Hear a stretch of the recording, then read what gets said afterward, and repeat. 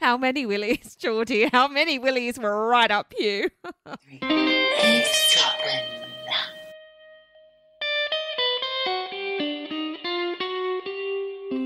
Hey, Michelle. What's poppin', mighty guy?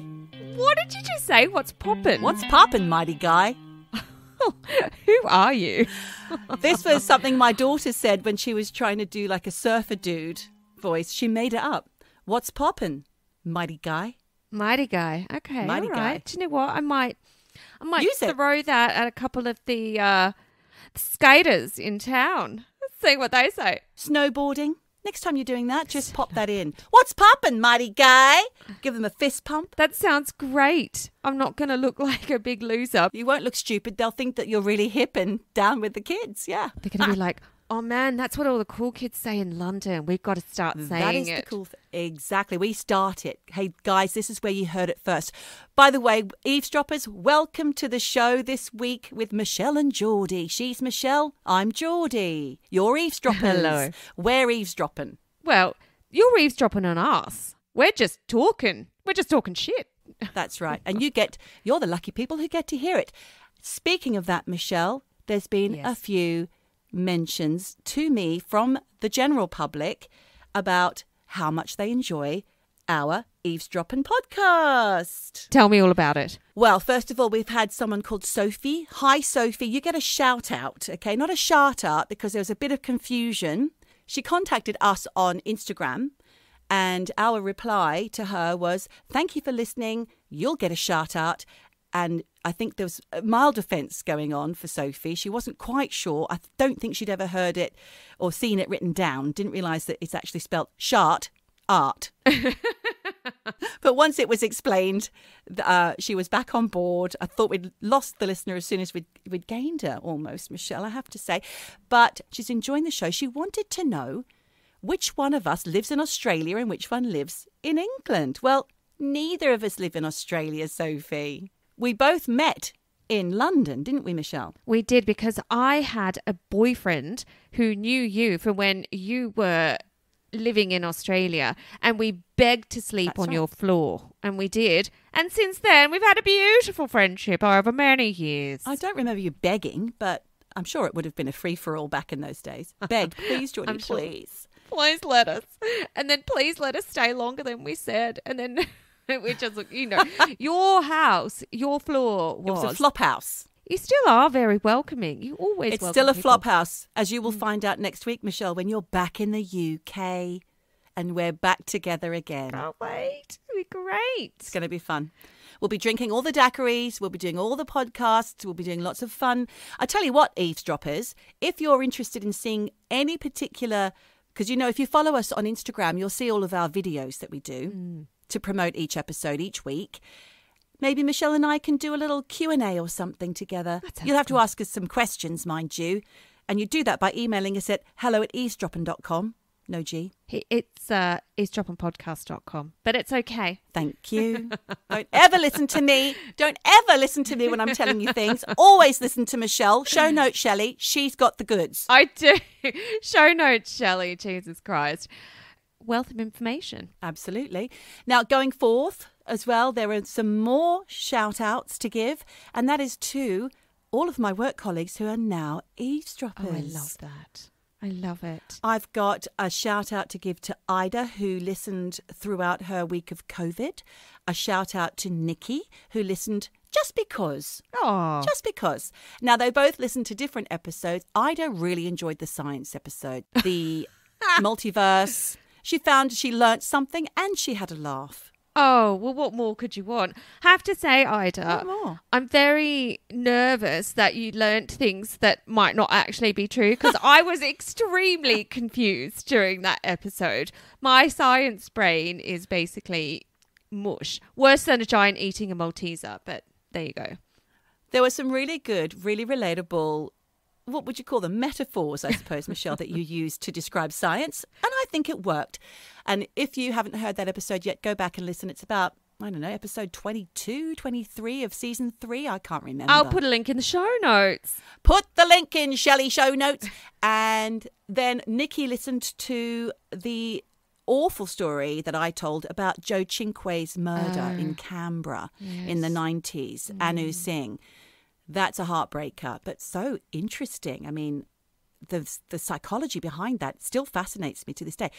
Speaking of previous episodes, last week's episode, Michelle, when I did a deep dive into Whitley Strieber and mm. his book Communion, Yes. I've got to say, put the willies right up me.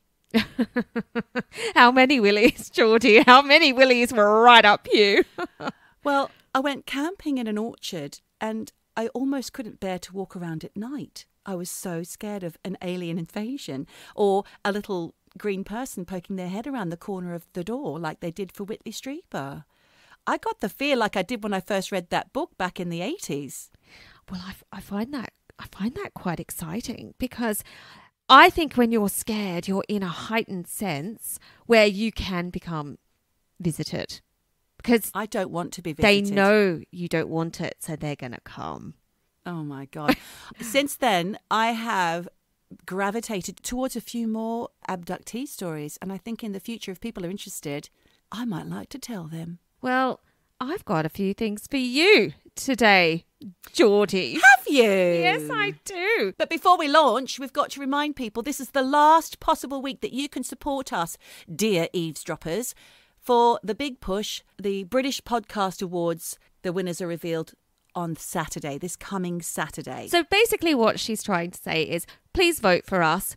BritishPodcastAwards.com slash vote. There you put in eavesdropping uh, with no G with the apostrophe. Our little faces will pop up and you can vote for us. It is the last moment, it's the last gasp of voting. And please, we want to win. We want to get listeners' choice because we know you love us. We love you. If we do, we'll give you things. We don't know what yet, but we'll give them to you. Lots of things. Also, I believe that you have to verify with your email address that you have voted. They'll send you a little, is this you? And you have to say yes, Yes. in order to complete the voting process. Get your mum to do it. Get your grand to do it. Get your brother to do it. Get your kids to do it. Just bloody do it. Please. Anyone with an email address, support us. We love you. Thank you. and you'll all get a free beer coaster at the end, a Ben Mendelsohn brown lemonade beer coaster. There's an idea for some merch. That is Michelle. a great idea.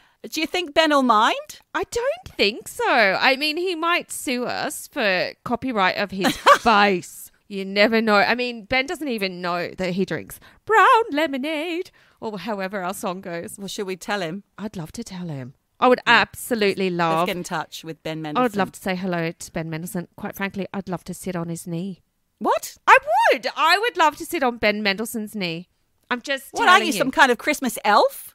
Honestly, it's so funny that you're talking about Ben and elves and all these sorts of things because I've got some stuff for you this week. Oh, is Michelle about to deep dive into some deep delving, Elving. elving stories? Look, there's today? actually no elves. That's a red herring right there. like a Scandi drama. I love a good Scandi drama. That's actually my life because I'm with a Scandi. The Scandi drama every day. It is. That's my life. Sorry. But we had a request from a loyal eavesdropper. So shout out to Steph from Sydney, aka my Your sister. sister. Shout out. Shout out. Your listener. Shout out. You're getting a shout out. Now, she wanted me to investigate rare sightings. And I'm saying that in inverted commas because I didn't actually know what she meant. I just went with it and I'm going to deep dive into a few rare sightings and unexplained mysteries. Oh, more mysteries. It's the month of mysteries, Michelle. Oh, all the M's. It's another mystery. And today I'm going to talk to you about the Wessex Way monster. Yes. Have you heard about this? No. Unless it's a haunted bag of soot. No, it's a little bit more exciting than that. Because the way you said yes, I thought she knows this. She knows about the Wessex Way no. monster. I might know it because it sounds like something I would know. I know. It's right up your street. Well, look, all right. Yeah. I'm going to take you back to the night of November 14 in 2007 Ooh. to a particular stretch of highway called Wessex Way, which is on the A338 in Dorset. Isn't it? Dorset. Is that how you do a Dorset accent? Dorset. Oh. Dorset. in Dorset. Anyway, No, Dorset. is it West Country? It's not West Country. It is. It borders Somerset. Oh. Dorset, Somerset, Okay. Cheddar Gorge. That's my George Michael impersonation. Oh yeah, when he went when he lost his mind that time. One of those times. He didn't lose his mind. He had foreign accent syndrome when he woke up after an illness. Yes, illness. That's a previous episode. Mm. I know I'll have to try and link to that somehow. So, what's got the internet all a titter, Geordie? A titter. A titter! It's all a titter. It's a little piece of traffic surveillance footage captured by a government closed circuit traffic camera. Yeah. What, what is it?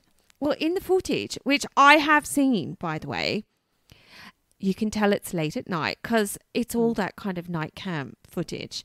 And the camera, like I said, traffic cam, it's filming traffic on both sides of the carriageway. And then all of a sudden, you see this creature crossing four lanes of traffic across the dual carriageway, jumping over the central crash barrier, just avoiding being hit by a car. And then, What? literally as fast as it appeared, it leaps off into the night and out of sight of the cam footage. Okay, right. This sounds very, very familiar. I feel like I've seen this footage. I feel like I've seen it on something like The Osbournes Want to Believe, where Ozzy Osbourne and family all look into paranormal film clips. I also think I've read about it in the Fortean Times as well. Oh. When I was investigating the Ruskington horror, I think this may have come up. Very possibly. Well, There was traffic on the road at the time, wasn't there? Loads of traffic. It's going zip, zip, Four zip. lanes, zip, zip. And this thing, did anyone else report seeing it? No. I mean, I'm not joking. Without, I, I've seen this footage. It's zoom. It's that quick. It's across Oh. all four lanes. Is it like a shadow? No, it's not. And and look, you need to see this footage. And again, I will put a link Show notes. in the show notes. Yeah. But without seeing it, you're probably thinking, what the fuck is this? Because Yeah. it looks like an animal, but Solid? yes, I'm going to suspend my skeptical mind here because Your skeptical mind. You're the one who thinks that no one went to the moon. they didn't. But anyway, we're not moving on from that. It's a creature and it has characteristics that look both animal and human. Wow. Yeah, I know. I don't like that. No. And to be honest, most people on the internet, they're saying that at first glance, this creature looks like a deer. But it ain't no fucking Spring deer. Hill Jack. What? I said Spring Hill Jack. Well, yeah, I I heard you. I'm just like Wondering what that is? We've spoken about it before, but I'm wondering if this is what people have seen in the past in olden times and named it Spring Hill Jack. Part human, part animal. okay.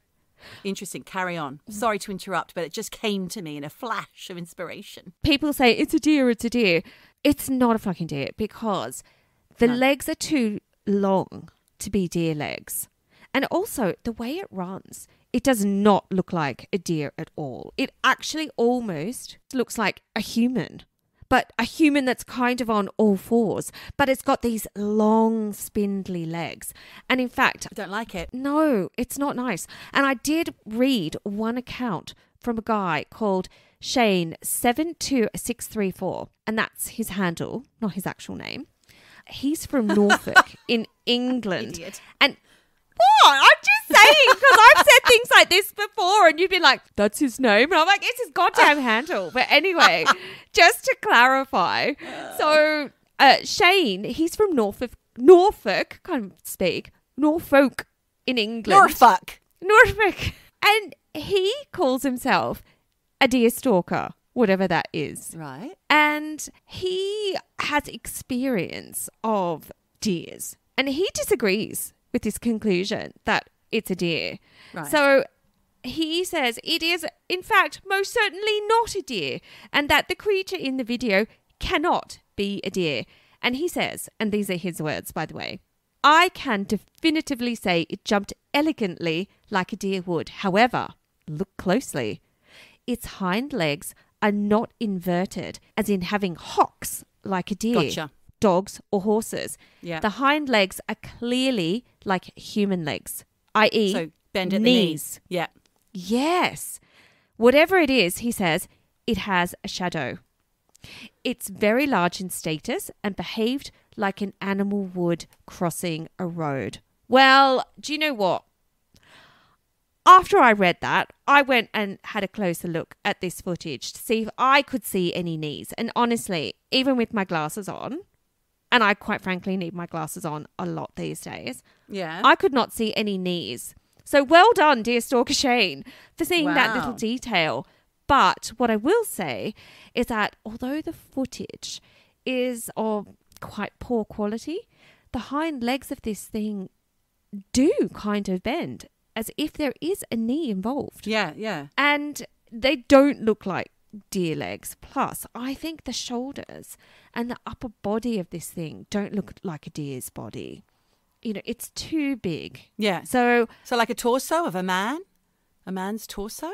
I'm just looking up Spring Hill Jack right now. oh yes, Spring Hill Jack, we have spoken about it before. It's um, an entity of English folklore in the Victoria era, and all the sightings go back from 1837. I think the latest one was 1904. But the people who've seen him springing about do say that he looks horrific. He's got clawed hands and re- red balls of fire for eyes.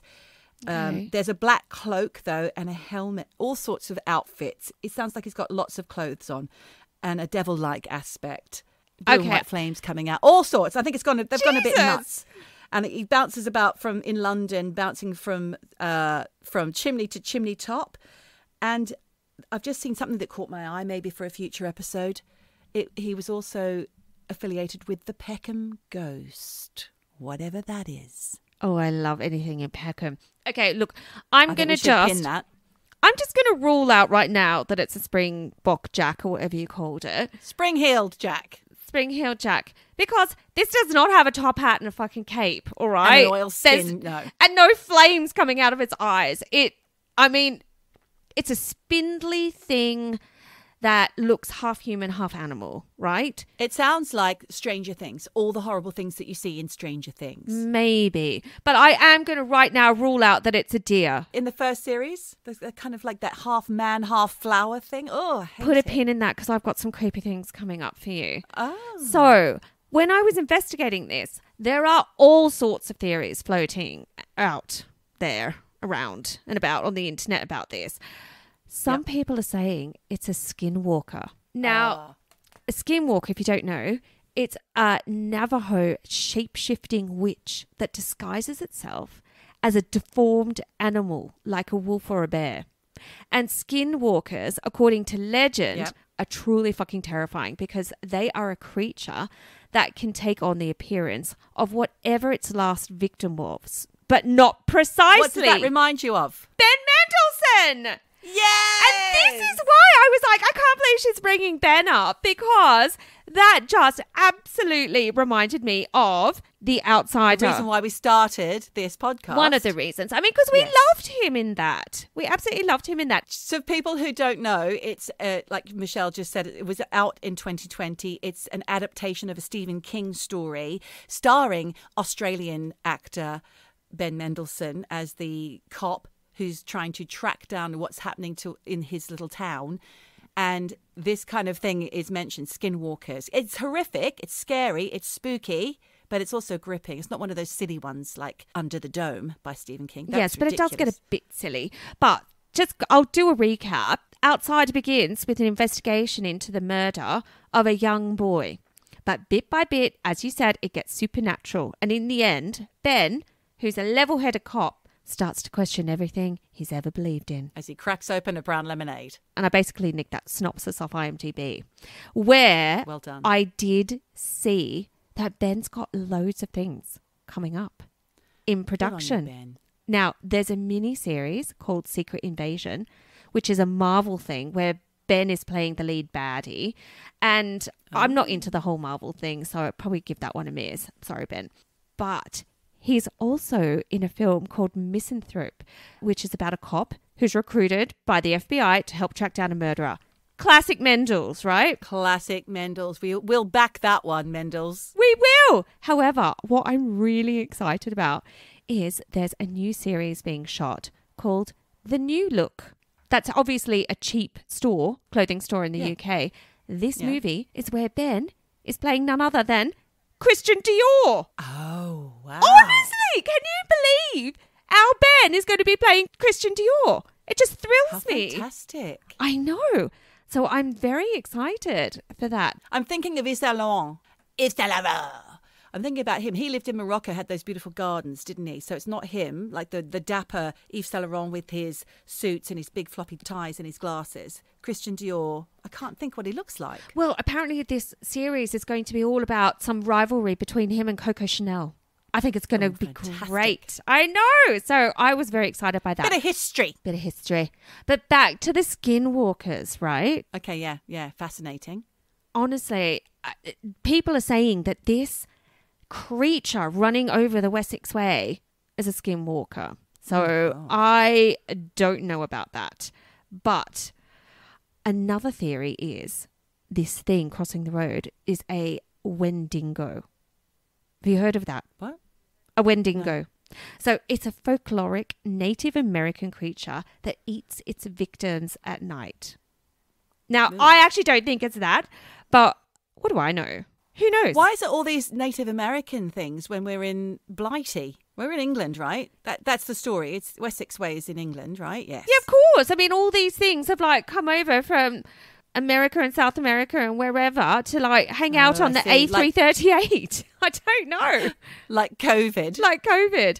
But other people think it could be just a feral human. What? Oh my god, And- that's fascinating. And do you know what? This actually reminded me of the story we did of Oksana Malaya, Yes. dog girl from the Yep. Ukraine, which we covered in a previous episode, We did. where she was running on all fours and she actually did look like a dog. Yes. However, I mean, unless you're really a human feral, feral human, Yeah.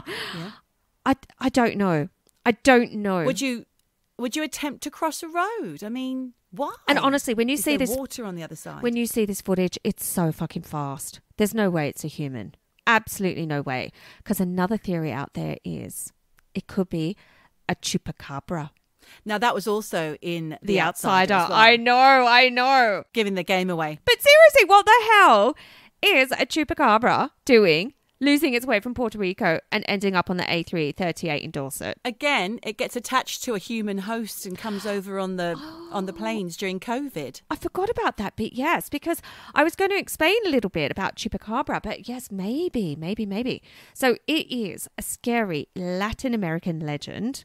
I will say legend because we don't really know, but it's basically. I don't think it's true. I know it sounds a bit weird because Bit they out- say it's a there. creature that attacks animals and consumes their blood, which Hmm. honestly sounds a bit like my part-time cat. But anyway, it We've talked about it before. we have. We have talked about it. And it's is derived, the name chupacabra comes from chupa, which means to suck, and cabra, which means goat. So it's basically a goat Yeah. sucker, right? Yeah. And it's thought to be kind of the Latino equivalent of Sasquatch. So people Hmm. are saying, oh, it could be a chupacabra, but I don't bloody know because it doesn't look like it has fur, and I think chupacabras have fur. And apparently, the chupacabra, do you remember, has spikes running down its Hmm. spine, and this doesn't have that. Yes, but does it, Michelle? Because is it real? And do they look exactly as people imagine? I mean, I'm thinking back to Spring Hill Jack already, and we have covered every single one of these creatures. let that in, go. in- no, because all of these things were mentioned in a previous episode. Chupacabra, I think even the Wendigo was mentioned, and I forgot about it. Could and be. the Spring Hill Jack, that was all in a previous episode, probably from season one or two. And I think it could have been about shapeshifters or something like that. I don't know. Or maybe it was about the the abom- abominable. I can't remember. But are they real? And if they are, do they look the way that people say they do? Because I think Spring Hill Jack, going back to him with his top hat and his flailing cloak of whatever, oil skin and his blazing eyes, I think that these things just get added to and added to because of hysteria, rumor, people getting excited. Same with Chupacabra. Oh, we've seen it. The goat sucker. Yeah, it's got the spikes down the back. Or what, uh, what was the other thing you mentioned earlier? The skinwalker, how it kind of comes back a little malformed. All of these things started somewhere, and I think it's probably someone's imagination. And then other people kind of jump on board and create their own version of this fantasy figure. Well, like I said, these things often start in native folklore. And I think that they're then appropriated and modernized. Exactly. But people are scared and people really do believe these things exist, you know, in certain cultures. Yeah, so True. Maybe no one has seen it, but I don't think we can sort of poo poo them because in certain cultures, just the way like the Icelandic people believe in the Hulda folk, Yeah. they may never have seen it, but it's their belief. So I personally think it sounds a bit bullshit, but you know, these people, it's a cultural thing and they're trying to say that maybe it's headed to Dorset. So I, d- I don't know. I don't oh, know. That's a shame because I love going to Dorset, especially at this time of year. But Well, Michelle, keep an eye out. what about the fact that it just could be a hoax? I'm getting to that. Ah. So I've got a few theories I want to talk you through first before we get to the the obvious idea the that obvious it could idea be a that it could be a hoax. Yes. Because people are also saying it could be a werewolf. You know that thing you could not remember last week. werewolf. The thing about the thing where that you- beast of legend. the wolf that turns into a person and vice versa. Yes, the werewolf. Of course. How could I forget? Yes, of course. But they're covered in fur, werewolves, right? They're they're meant to be all hairy, and this thing isn't hairy, so I don't think it's that. And people are saying it just could be a mangy dog. Well, you keep saying that there's no hair. I haven't seen the footage, but I'm assuming. Honestly, it, because it's night cam as well, it, it looks a bit weird. Google it. I'm also going to point you in the direction of another theory. You're going to like this one.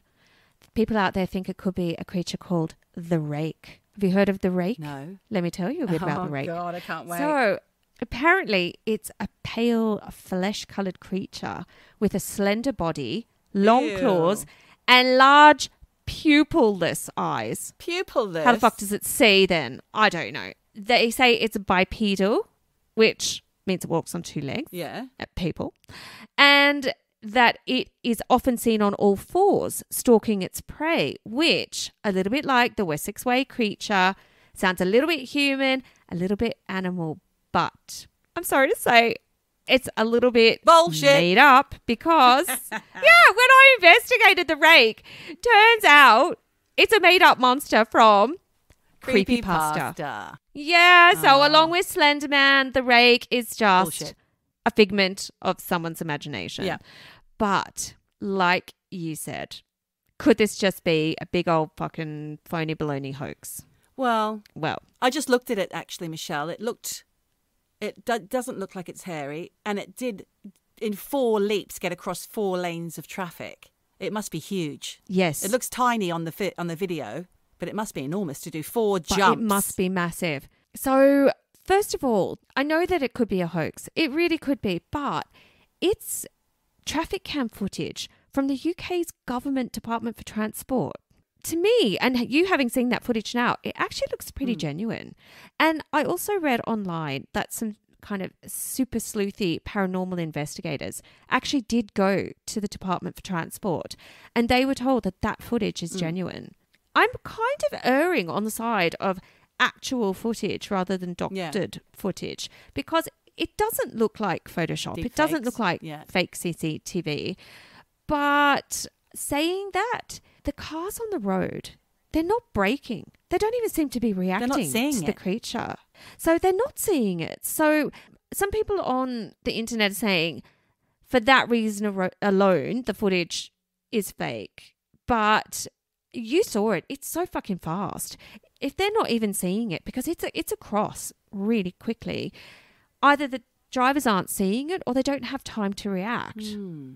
I don't know. Wow. It, I'm thinking. I'm thinking, and I'm thinking. Is it something like a time slip Alien? or an alien? Are you thinking it's an alien? I wasn't actually thinking that. Because I'm thinking it's no, an alien. I was wondering if it was some sort of interdimensional slip or leak that we often talk about. Do you know what? There are there are some people saying that it could be some kind of time slip, some kind of time Hmm. leak. But you know, for me, obviously, you know, I love a good old alien Of course you sighting, do. And Don't we all? yeah. So what if this thing was a lost alien, or what if it's an alien pet that's like somehow dropped down and Christ. crossing the A three thirty eight? I don't Well, know. that just reminds me of that film Cloverfield, where that Godzilla thing's dropping all those bits, those fleas off it, and it's killing people when it when they land. They like horrifically killing people on the street. I know. it's a disaster. I won't sleep. Of course you won't. But you know what? There was someone out there saying, "Oh, it looks like a kangaroo." Doesn't look like a fucking kangaroo. They've obviously never seen a kangaroo. The fast jumping, the the giant leaps, yeah, but they Yeah. also have those legs like a dog. The what did you call it before? Orthopedal. What did you call it? Bipedal. The dog leg kind of shape. Rather than two legs, two bones with a knee in the middle, they've got that curved Yeah. Bone with a big, long, flat bottom. I'm just going to tell you, no one's any closer to understanding or putting a label on what the hell that thing was. I'm going to put a link in the show notes. Go for you can see the Wessex Way monster. Monster. You can all decide for yourself. Get in touch. I'm going to look at it again. It's fascinating. It's really that's mind bending, actually, Michelle. Well done for finding I know. that. Well, get in touch at hello at eavesdroppingpodcast.com and tell tell us what you think because I really have no clue what that could be. No idea. She's got no idea. No idea. We've got no idea. No idea. There is no idea between No idea. us. No idea. No idea. On the theme of monsters. Yeah. I was obviously like just looking around for rare sightings of things, and I came across this weird story that started out as a strange sighting, but it kind of morphed into something else. And it all began in July 2008 in Montauk. Hang on. Isn't that the same year or the year after the Wessex Way Monster? No, the Wessex Way Monster 2007. Oh, it was 2007. Oh, well done. I didn't even make that connection. Well, this is not, I don't think, the one and the same. It did not pop off from Dorset to Montauk.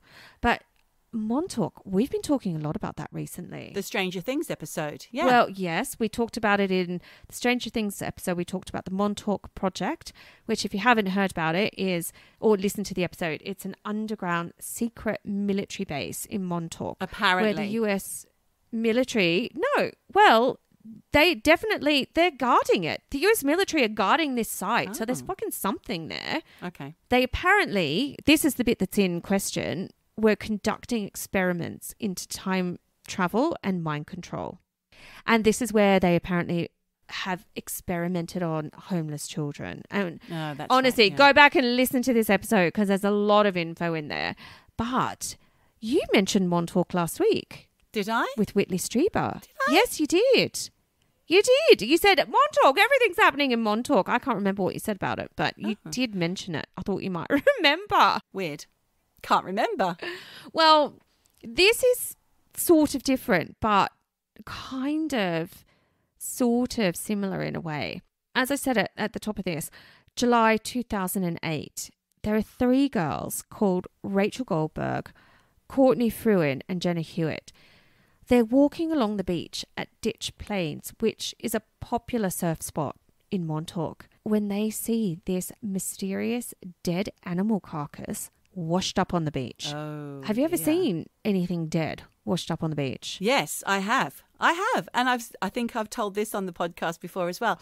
Because I lived on a beach, I once found. Well, once we had a baby shark that we had to try and get back out to sea, Mm-hmm. And I don't know if we succeeded or not. I've blanked that from my memory. Perhaps it ended in horror.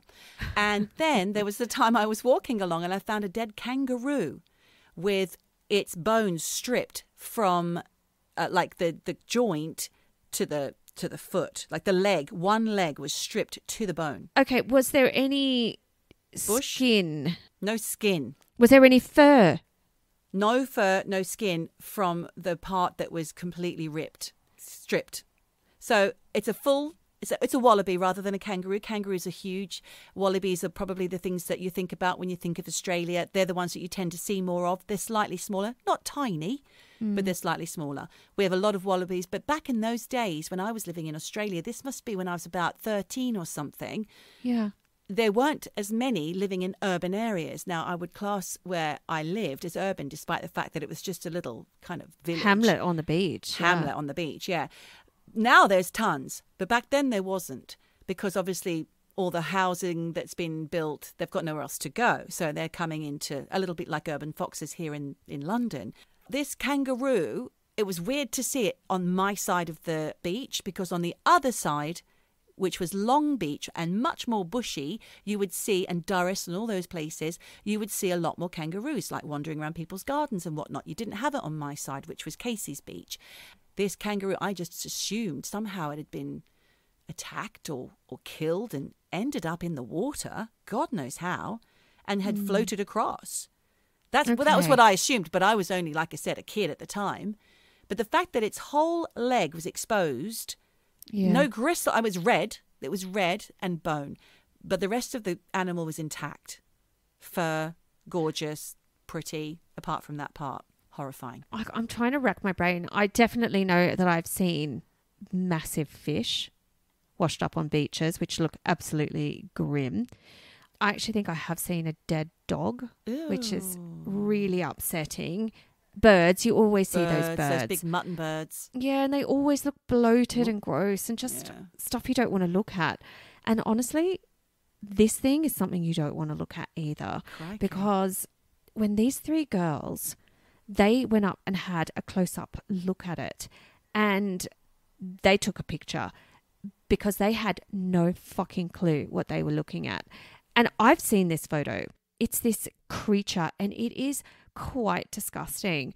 So the reason I was asking you when you were talking about the wallaby if it had fur or not, Yeah. this has no fur Oh. it's almost like transparent skin and honestly it, it, it makes me feel sick even saying it it looks like it's been a bit cooked in the sun because it's got like a slightly roasted look to oh, it Oh, God, Michelle. yeah it's awful and the back of the creature Oh, fuck. I've just looked at it. Oh, okay. Well, I'm going to describe it a bit so people listening can sort of hear it, hear what it looks like.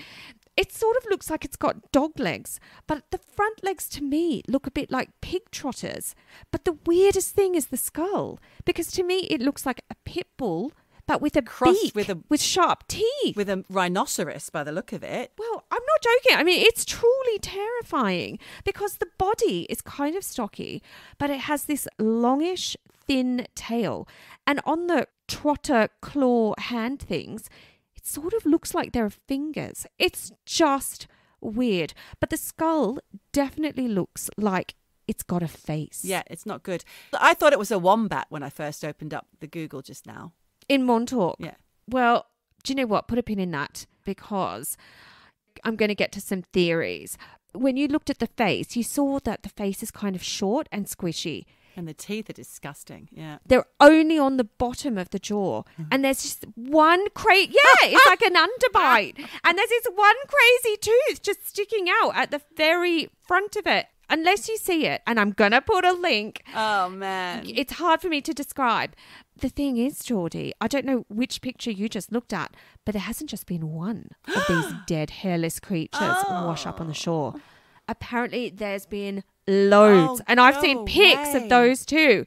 And they also look similar to this kind of dog pig trottery thing that I just described. But there are also some pics that show these weird creatures, and some of them have a bit of fur on them, Oh. but they've got like whitish skin, and they and they look a bit like less kind of translucent, it? roasted. Yeah, roasted, from the sun. I know it did look a bit like like a pig on a spit or a hangi or whatever they call it. And then there are these other pictures where they've got more fur on, but it's harder to see their face. And there are some where you can't see the face at all, just this creepy white skin with these strange little claws. And honestly, there are so many of these pictures out there that you feel like there's got to be something to all this. Why are they floating up on? Why are they being carried away by the sea or whatever? That's weird. Are they like lemmings throwing themselves off cliffs? Well, you're going to love this because there could be an explanation. It's more of a conspiracy theory. I love it. Okay, here, let's hear it. So, Montauk is at the very end of Long Island, and Ditch Plains is a beach on the eastern side of Long Island. And I've got to tell you, these creatures are not just floating up to Ditch Plains. They've been floating and found on all sorts of beaches all over Long Island. There's even been one that's ended up in New York. But anyway, It's a special kind of floater. yes, on the western side of Long Island is an island called Plum Island, which I actually think sounds gorgeous because I was thinking, oh, it's an hmm. island full of plums or, you know, other lovely fruit. But since 1954, it has been the home to a kind of low key government research facility called Plum Island Animal Disease Center. Oh no. Now, interestingly, this this animal center is run by the US Department of Homeland Security. Which is a bit fucking crazy because what does Homeland Security have to do with animal diseases? I don't like it. No, you're not this is like darker this. than it could ever, ever, ever be. Really? So back in 1954, Plum Island was set up as a biological warfare testing facility where they were doing Is this? Hang on. Is this true or is this? This, This is this fucking true. This, This is, is true, true. okay. Go online. You s- actually, I've seen the picture where they say This this, is is. Homeland Security. This is Okay. fact, right? Not just hearsay. This is not a chupacabra. This is a real deal. So they set up Plum Island and this animal disease center in 1954 where they were doing genetic testing on animals. So, after World War II, the US government recruited this German scientist called Dr. Erich Traub to work on Plum Island I know that name. under what was then called Project Paperclip. oh yes, I know. That. Have you heard of Yeah, Erich I Traub? have. Yeah.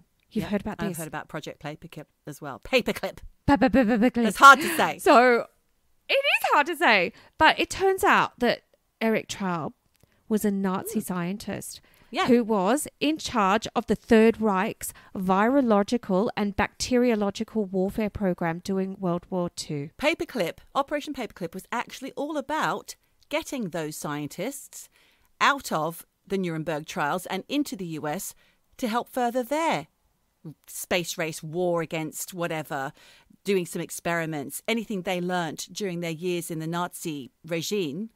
They wanted that. They wanted that stuff. Paperclip. It's shit. Well, do you know what? The thing was that Russia was after those German Nazi scientists, mm-hmm. and there was a fucking race on to get as many as possible, not in the clutches of the Russians. The Americans were like scooping up all those Nazi mm. scientists. The thing is that Erich Traub, it's a real thing because, like you say, paperclip, you can go to the United States National Archives and you will see all of these Nazi scientists experimenting with animals on Plum Island. And they were also doing this experiments with diseased ticks, which has led to speculation that these ticks were somehow leaked out of Plum Island and were responsible for a massive outbreak of Lyme's disease in the early 70s in Connecticut, which is which as the crow flies is not far from Montauk, so who knows. But Erich Traub like you said, he was just one of thousands of these German scientists brought over after World War II. It's Fort Detrick. That's why we've done it before. We've talked about Yes. Fort Detrick, and he was brought over to work there. That's Yeah. exactly We've talked right. about this before. Which episode? Because I don't remember. I don't remember either, but we definitely talked about this before. I know we did. Fort Detrick. That was in an episode. Perhaps it's about aliens. I'm not sure. Well, I'll have to try and see if I can find the link to that. The US were giving them full US citizenship and these really lucrative employment contracts. So it, they didn't care about the dark Nazi pasts of these scientists. MK Ultra. Yep, all of that shit. That's why we talked about it. Right, Okay. Sorry to interrupt. Yeah. Well, he was the head, he was a lab chief on um, this island of Riems in the Baltic Sea. So that's why they pulled him over to Plum Island because he'd already worked on like this very kind of Diseases. disease disease island. And he had actually, Erich Traub had worked for um, Hitler's second in charge, Himmler, on live germ trials. So it did make sense for him, well, for the US government to bring Erich over for a similar thing on Plum Island. And he basically set up this military biological warfare research center where they were, you know, doing work on animal diseases, basically setting up this grim fucking lab to do genetic testing on animals Gross. and biological warfare experiments on animals.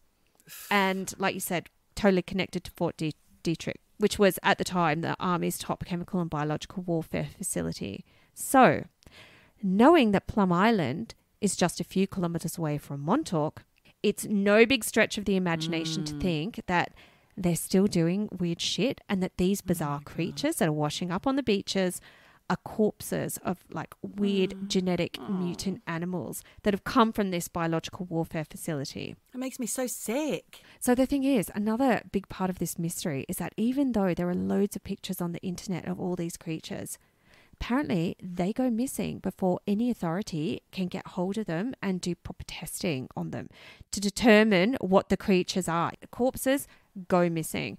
Now, Okay. there was apparently a website called montaukmonsters.com, which when I went to look for it, doesn't exist anymore, been pulled down Right. apparently, and I obviously can't confirm this, but apparently when it did exist, a guy called Matt from Wethersfield in Connecticut posted a picture of one of these weird creatures, who then wrote, these are his words.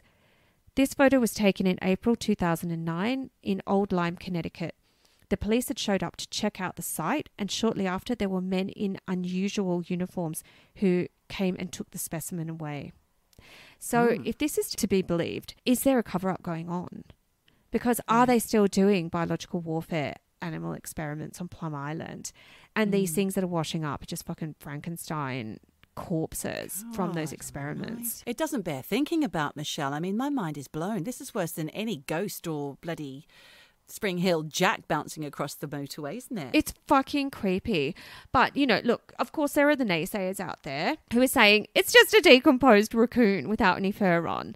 With that tooth. I know. And there was a guy who said, go online and look up dead raccoon with no fur and you'll see it looks exactly the same. Well, I did that and it doesn't look exactly the same. No, it doesn't. It looks nothing like it.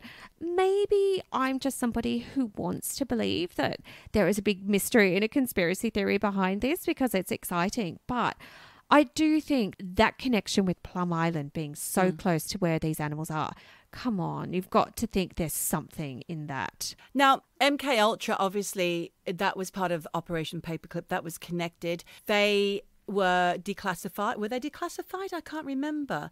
It's time for declassification of cross all the all of these secret experiments that have gone on since the 30s, 40s, 50s, and beyond. Yeah. We we need to know. Come on, transparency, people. Yeah, I think so too. We're big boys and girls now, So basically, people are saying non-gender specific. it's a raccoon. And honestly, when you look at the picture, you're going to agree with me. I think it's not fucking raccoon. Or are these creatures weird mutants coming from Plum Island? I don't know. I've got no answers. The internet has no answers. I mean, is it a giant tick or flea? what? If you blow up a flea or a tick, These right? are massive. These are like a meter or two. I know. I'm saying blow it up, make it bigger. If you experiment on a tick or a flea and turn it into massive full size or dog mm. sized, Well, I guess. I mean, who that? knows? Who knows what the hell they're doing in that lab with test tubes and all sorts of weird Nazi experiments? I have no clue. we did talk about a water bear once in another episode, didn't we? The water bears, which were those tardigrades. Oh god, the tardigrades out in space. And they look like bears, They do, don't they? even though they're minuscule. People, I don't know what we're looking at. I mean, obviously, people also say it could be a hoax. That there were something just to go viral, but there's just been so many of them and so many different ones. I don't know, but Like a meme or something. Yeah, get in touch if you th- if you've got theories on it because I really have no clue what it is. Or get in touch if you've seen something re- really weird when you've been on a walk or along the beach front or whatever. Do you know what used to freak me out, Michelle? Was when, again, back in Australia, when we used to go to a place called Pigeon House Mountain, which was quite a bushy area hmm. outside of an area called Ulladulla. You'd drive for ages, then you'd have to park your car, then you'd walk and walk and walk, and you'd go up this gorgeous mountain. There was always a pair of trainers or a shoe or something up high, sometimes lots of them. What's that about? Across the power line? What does that mean? Oh, what the shoes over the power line? Yeah. Oh, wasn't that? Oh, Always tons of them to the point where it became a little bit creepy. Wasn't that? Oh, if it's your shoe on the power line, you're a slut.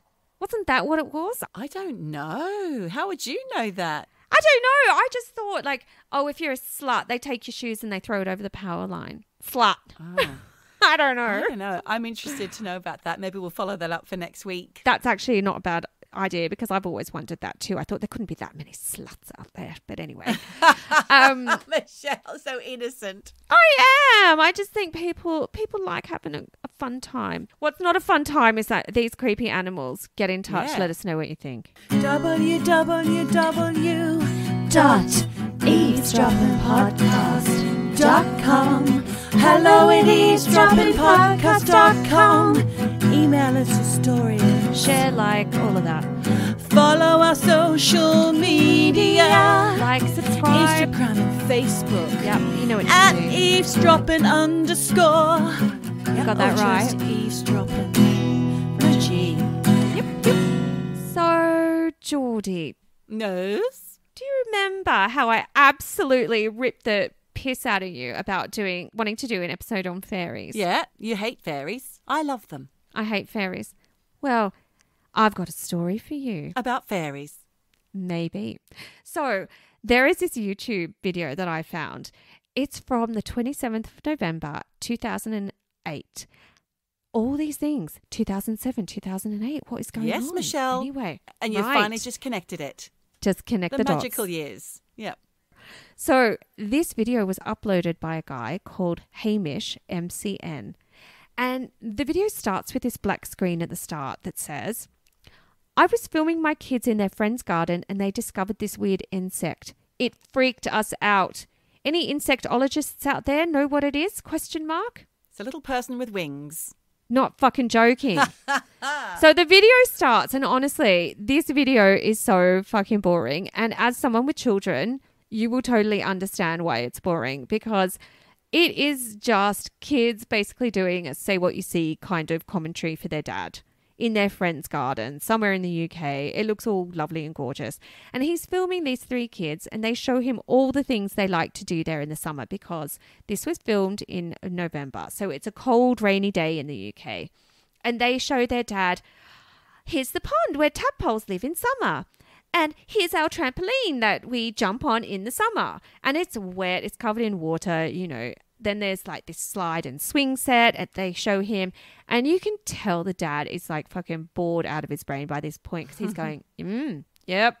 Oh, great. You know, it's just, it's just a boring video that you take on your phone to, you know, like to keep your kids interested. You're like, oh, I'm videoing them. Then after the swing set, his like the girls take him to this apple tree and they're like, "Oh, and here's the apple tree." And they bend down and they're picking up these large apples off the ground. And the dad is like, "Oh, wow. Are they are there still any apples on the tree or have they all fallen off?" And they point up and they're like, "Oh, yeah, there's still some apples on the tree." And he's there like feigning interest in it. And then you hear one of the little girls saying, "What's that?" in the background. And the other little girl saying, "What's what?" And then the other little girl says, It's an insect of some kind. And the dad goes in with the camera for a bit of a look. And mm-hmm. you see this insect, and it's kind of stuck on a branch. And then you hear its wings buzzing on the branch. And I- I'm just going to tell you, like, it's 2008. This video is blurry as fuck. But he's got the camera on this insect. And it's hard to make out what he's saying. But he's sort of like, what is that? What is that? And then one of the little girls is saying, I don't know. And then out of nowhere, it just flies off the branch. And you hear this little girl going, Oh my God, in a really panicked way. And not joking, you see this insect thing fully in the air. And it's this tiny humanoid shape that's flying with these huge, gauzy kind of transparent Yeah. wings. It's got these long, spindly legs and it moves in a really fluid way. I'm telling you, it is not like a doll because it has movement. The legs are moving, everything's moving. Mm-hmm. And the dad has the camera and he's like, "Ah!" ah, ah. And he starts running away. And you just see these kids piss bolting off, and you see the creature flying off in the opposite direction, and they are just legging it, all of them. And the dad is there panting, going, truly freaked out. And then he looks back, and the thing's long gone. honestly, like this video has more than 4.2 million views. The comments are turned off, which I so actually think that's annoying because I fucking love the comments. The thing that's really interesting about this is that this guy's YouTube account, it has a YouTube playlist with some shit tracks on it and a video of Bucks Fizz with Jay Aston, right? and then this video, that's it. The dude is not someone who's like into the paranormal. He's No. not like making things up. It's literally just some shit YouTube account. No offense. No, it- no, but come on, it's a shit YouTube account. Okay. When you see this footage, it does look a bit like a dragonfly Yeah, I was going to say. until it flies towards the camera. And then you can clearly see a humanoid shape with wings. Can you see a face? Yes, you can see a face. What's the face like? Is it horrifying? It's like an alien. I'm not joking. It looks like a little oh, fucking alien face. People are saying it's a fairy. And obviously, I call bullshit on the fairy because, you know, I don't really believe in fairies. But honestly, I actually don't think this is faked footage because the kids are really natural. Um, you can see through the, the wings of the creature, they're blending in. Like, it, it's. I, I really, really feel like there's something in it. And I don't think it's like a click, scammy, clickbaity kind of Yeah. video. I want to see it. You should see it. I'll put a link in the show notes. Why don't you do that? I'm gonna. But obviously, you know that I think it's like an alien, a tiny, lost little flying alien. But people, I've got no answers here, but I'd love to know what you think. I'm looking it up right now. the rocks and the groups of tadpoles swimming. Yeah, he's so bored, that dad. Very big apples. Apples. What's? It's a shame. What's what? There, look. Right up there. Insect or something. Is that an insect? Let's have a look. Oh. Oh. You can't really see what it is. Oh my god. Uh, that looks that looks made up. That's made up. That looks like an animation. I don't think it's made up. I think it's real. Why do you think that it's made up? I got really freaked out by that video.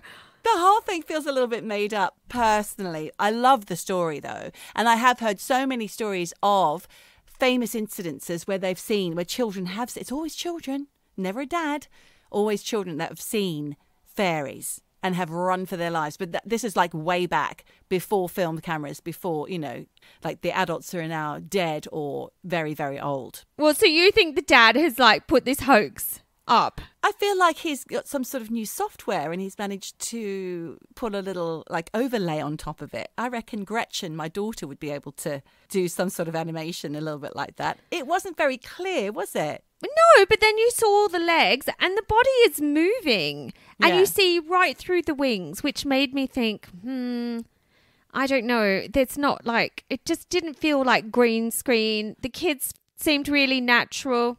Obviously, you're calling bullshit on this. I call bullshit. And I love fairies and I believe in them. well, I'm calling tiny little lost alien. Oh, wow. Well, you know, it's interesting today, Michelle, because a lot of the stories that you've told, I think, play with perspective. Not just the perspective of what the person viewing the monster, each monster uh, or creature that you've spoken about today, is, like your perspective of what you're looking at, but the perspective of each thing. Is it a dragonfly or is it a giant alien? Is it a wombat or is it a blown up tick, like a, an experimented on tick or flea that's now been blown up to being the size of a wombat? Is it a kangaroo or is it a rabbit uh, running across the motorway? Or is it an alien or a chupacabra? Who knows, Johnny? Suspend that disbelief because I'm going to wrap up today's episode with my last oh, stories. God, okay. Because we cannot do an episode about rare sightings Without? without talking about Bigfoot. the Yeti. Okay. Well, it's the Yeti. It's a, you know, Bigfoot is one of the big two, but this is all about the Yeti. Okay.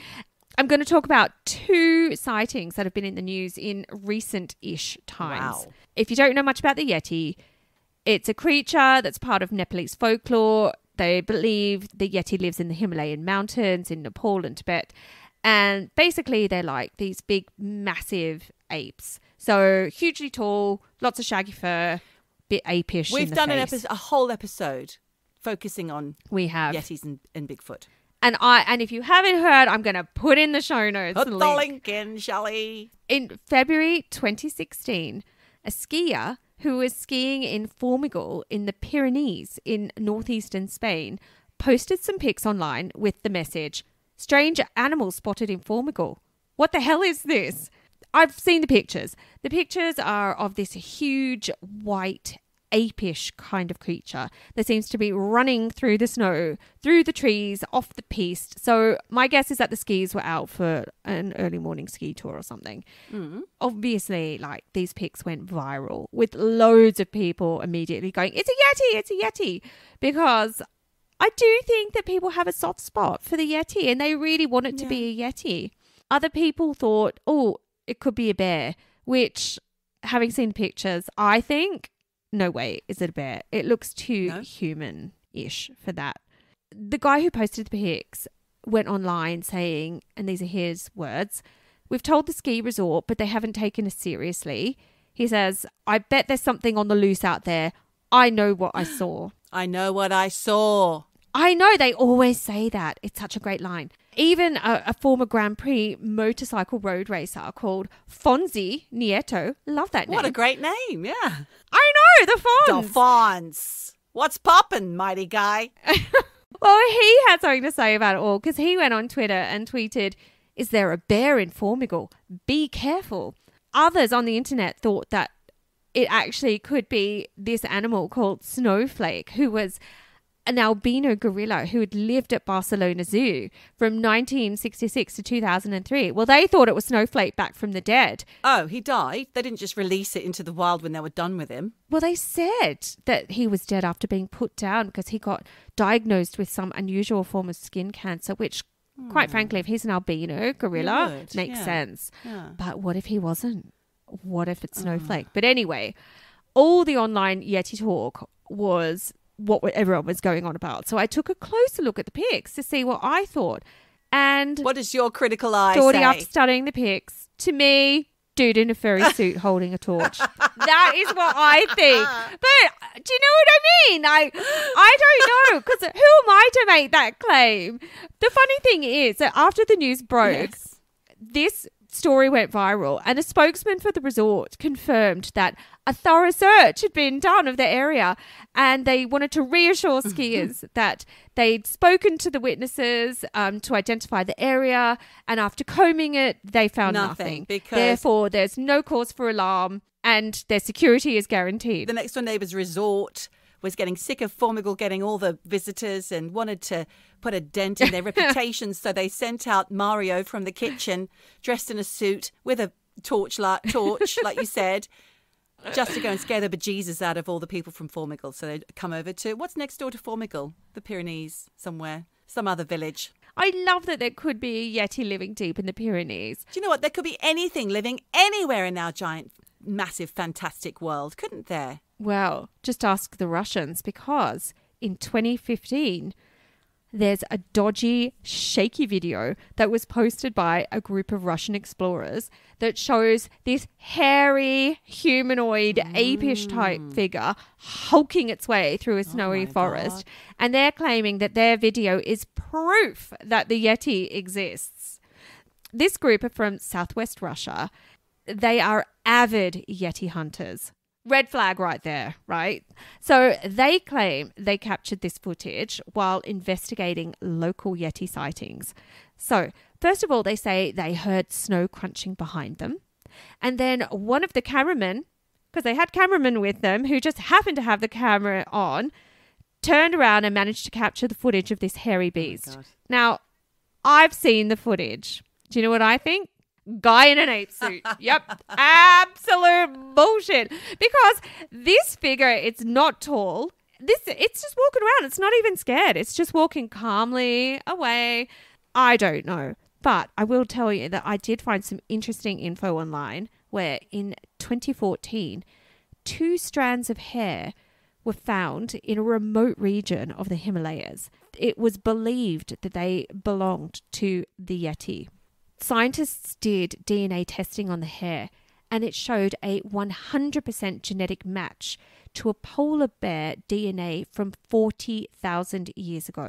Oh. So, Oxford scientists who did the research now think that actually there could be some kind of hybrid polar bear that does exist in the Himalayas, oh. which could explain all these sightings of what we call the Yeti. So, there you have it. Science could win out again. And that's all I got for you today. That's incredible, Michelle. I absolutely loved our deep dive into mysterious creatures all across and the rare world. sightings. Rare yes. sightings. I love it. Oh, wow. That's fantastic, Michelle. Listen, I'm going to see you in a few days, so I'm looking forward to that. I'm just Me going to too. remind everybody please get on and vote, vote, vote. We need you. We need your votes. And apart from that, there's only one more thing to tell you, and that is wherever you are, whatever you do, just, just keep, keep eavesdropping. Eavesdropping. Eavesdropping. Eavesdropping. Eavesdropping. Eavesdropping. Eavesdropping. Eavesdropping. Dropping. Dropping. Eavesdropping. Eavesdropping all day long.